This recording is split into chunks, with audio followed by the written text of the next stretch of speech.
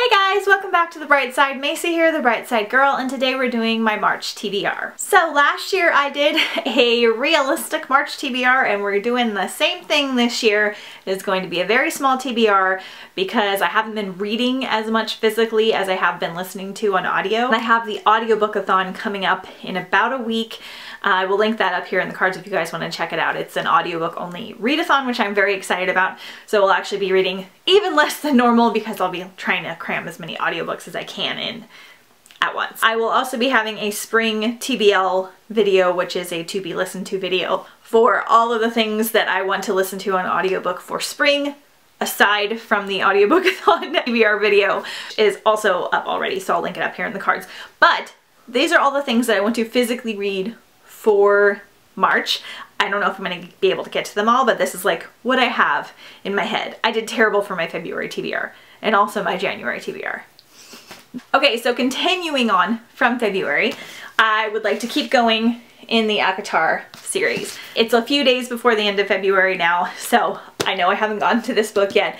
There's a chance I might start this before March, but I'm gonna guess no. I'm gonna guess I'm not gonna finish in time. Or not this one, but this one. but anyway, I am really enjoying the series. I am slowly vlogging it, sort of. I'm doing a bad job with that. Um, I don't think I'll be able to get to both of these and the novella set, but it depends on, on how they go. They are easier to read than I expected for how pretty large they are. So this is a Fae fantasy series, if you're not familiar. Then continuing on from January, I would like to continue on with the Kanin Chronicles. So I'd like to get to Ice Kissed and Crystal Kingdom. This is a library copy. I really enjoyed this particular fantasy series. It's kind of like a goblin fantasy series and it's just more fun and kind of lighthearted but dark at the same time and kind of badass. I really enjoyed the first one which is Frostfire and I want to continue on before I forget what happened in Frostfire, especially since I'm reading ACOTAR right now and they're kind of similar, like not really, but they're fantasy. The girl's kind of hardcore. There's a little bit of fairy action, so I want to make sure that I don't get them confused and I want to see if I like the whole series because I need to find this one um, for myself but yay. I would like to finally read Lord of Shadows because I still haven't read this and I absolutely loved Lady Midnight. So this is part of the Dark Artifices trilogy. I do think you need to read the other series that Cassandra Clare has written in order to read this. I just think you're not going to like this trilogy if you haven't read the other ones because so much ties into all the other stories and it's just kind of a whole world. But I do really need to read this one still and Queen of Shadows and a couple novellas and things. I'm kind of like full on this Cassandra Clare train now. And this one I'm surprisingly not as worried about because it's so huge.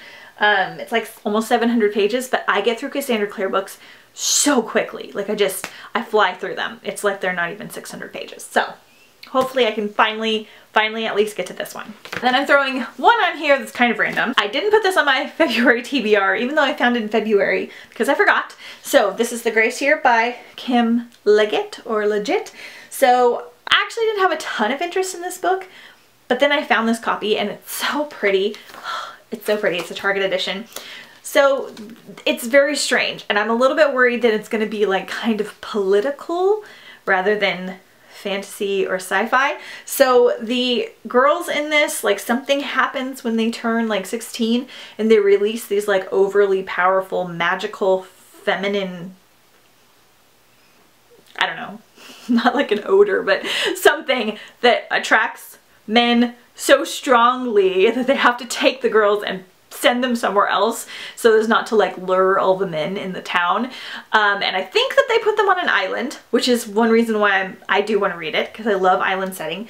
And this might be the kind of weird that I like. I have a feeling it's going to be more like feminist in the way that I personally don't enjoy, like in a man-hating way. I just don't like books that are like like that.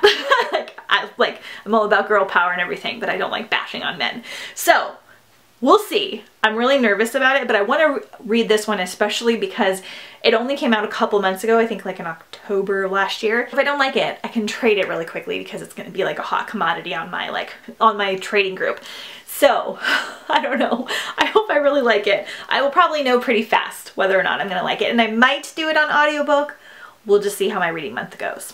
So those are my realistic reads for March. just, I don't know you guys, I have not been doing good physically reading still. I don't know if it's just because I have so many things happening. I'm just doing not as good reading before bed. I'm feeling like I need to be doing other things instead of reading now. So we'll just see. I'm hoping I can start like tanning and getting more reading in and just enjoying my reading time again. I feel like I'm just kind of going in waves now. Like October was like a super good reading month for me and I think July was like a good reading month and things like that rather than just having like every month be a good reading month. We'll see. Cross your fingers. Let me know what you guys are reading down below in the comments. Let me know if you're participating in Audiobookathon and I'll see you guys next time on the bright side. Crystal Kingdom. Ah.